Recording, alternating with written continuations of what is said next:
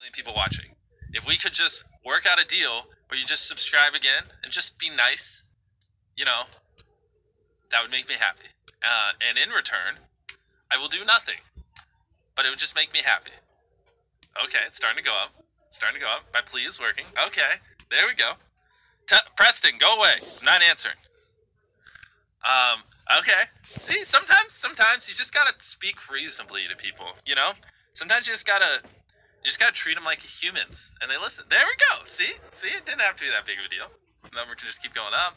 If you could just get us back to 99,996,000 like we were before, uh, that would be, that'd be great. Um, let's keep going. There we go. Come on. Okay, bro. Let's go. We're so close. Oh my gosh, that was so. I was. Wow, we did it. Oh, they're gonna throw confetti on me. We hit 100 million subscribers. Let's go. Oh my gosh, there was this many of you waiting to sub. Oh, you monsters. You made me wait. Oh my gosh, that's such a pretty number. I oh, look how much.